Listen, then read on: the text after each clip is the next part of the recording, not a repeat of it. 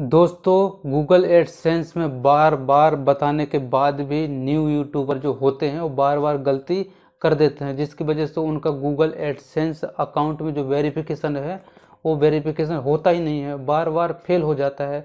तीन बार तो अटैम्प्ट तो करना पड़ता है और तीन बार, मेरा तो एक ही बार सक्सेसफुल हो गया था, लेकिन ये लोग को तीन तीन बार वेरिफिकेशन फेल हो रहा है। पता नहीं वो लोग कहाँ पर गलती करते हैं। इतने यूट्यूबर ने वीडियो बनाई है तो वो लोग वीडियो को देखते नहीं हैं या फिर स्किप कर देते हैं, उनको टाइम ही नहीं है नॉलेज लेने का वो लोग कभी पूरा वीडियो देखते ही नहीं हैं।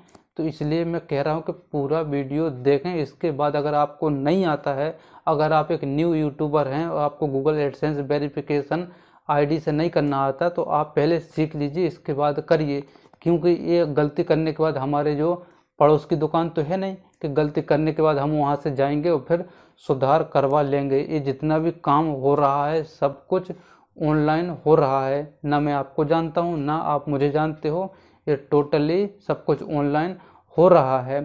तो फिर एक बार मैं आपको फिर से बता देता हूँ आपको कि 10 dollar completely Google AdSense account में होने के बाद हमको गवर्नमेंट आईडी अपलोड करनी पड़ती है, जिसकी वजह से वेरिफिकेशन वो मांग रहा है।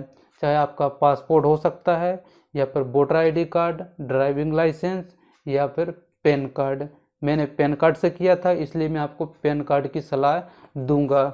दोनों साइड की फ़ोटो अपलोड करने की ज़रूरत नहीं है, ओनली फ्रंट साइज़ की क्लियर फ़ोटो अपलोड करें। मैं इस पर वीडियो अलग से बना दिया हूँ कि आपको कितनी एमबी की इसकी साइज़ होनी चाहिए तो उसका लिंक भी आपको डिस्क्रिप्शन में मिल जाएगा तो आप वहाँ से देख सकते हो। तो पता नहीं लोग अभी भी कहाँ पर गलती कर देते हैं हो सकता है कि वो लोग चाहे आईडी अगर उनकी सक्सेसफुल होती है तो लोग जो ऊपर नेम आता है पे नेम वहाँ पर मिस्टेक कर देते हैं, वहाँ पर चैनल का नाम डाल देते हैं, लेकिन ऐसा आपको बिल्कुल भी नहीं करना है। जैसा भी आपका जो नेम है, आपकी आईडी डॉक्यूमेंट्स में, वही नेम आपको यहाँ पर डालना है। छोटा बड़ा अक्षर ये हो सकता है, कोई बोलता है कि मैं पूरा पूरा अक्षर कैपिटल में लिखूँ तो मेरा सक्सेसफुल हो जाएगा। कुछ लोग बोलते हैं कि जो पहला अक्षर होता है, वो बड़ा लिखूँ, बाकी छोटा लिखूँ तो मेरा हो जाएगा। हाँ ये चलता है, छोटा बड़ा ऐसा नहीं है। आप कैपिटल में लिख सकते हो और स्मॉल भी लिख सकते हो। पहला अक्षर, जैसे कि मेरा सत्येंद्र नाम है तो मैं एस बड़ा रखूँगा और बाकी छोटे रखूँगा तो भी कोई प्रॉब्लम आने वाली नहीं है।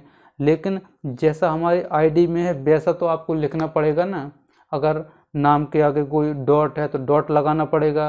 अगर कोई स्पेस है तो स्पेस है। अगर कोई कुमार है, मिडिल नेम है, कुछ भी है मतलब जैसा का तैसा आपको वहाँ पर मेंशन करना पड़ेगा, आप अपने मन से कुछ भी नहीं भर सकते। ऐसा नहीं कि आईडी में कुछ और है और आप अपने मन से वहाँ पर कुछ भी भर सकते हो। ऐसा बिल्कुल भी नहीं चलेगा। आपका वेरिफिकेशन एक बार नहीं, दो बार नहीं, तीन तीन बार फेल हो जाएगा। फिर आप बोल दो कि यार मैंने तो यूट्यूब पे इतनी सारी मेहनत की मैंने चार हज़ार घंटे का वॉच टाइम और एक हज़ार सब्सक्राइबर पूरे गेन किए, फिर भी जब लास्ट टाइम पेमेंट का टाइम आया तो मेरा आईडी अपलोड ही नहीं हो रही है या फिर फेल होते जा रहा है। वो आपका दस बार भी करोगे तो भी फेल हो जाएगा, क्योंकि आप लोग वीडियो पूरा देखते ही नहीं हो।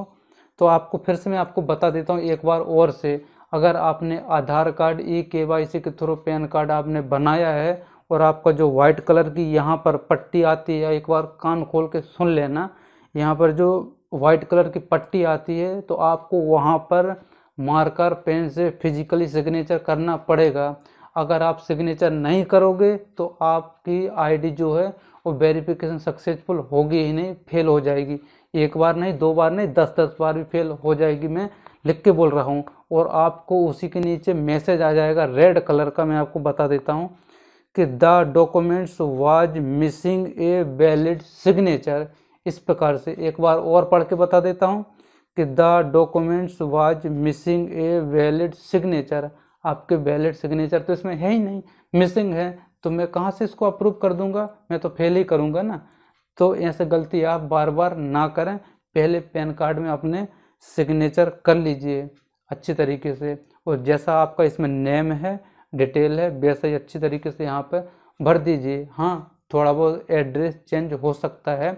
आपके जो आधार कार्ड में एड्रेस है, वो थोड़ा बहुत आप मॉडिफाई कर सकते हो। वहाँ पे मोबाइल नंबर डाल दीजिए ताकि आपका जो पिन आता है, वो आपका जो पोस्टमैन है, आपके घर के एड्रेस पे एक ही बार में घर में आके घुस के और आपको दे जाए कि, ले भैया, तेरा पिन आया है, मैं वापस इसको नहीं जाने दूँगा। एक ही बार में तू ले ले।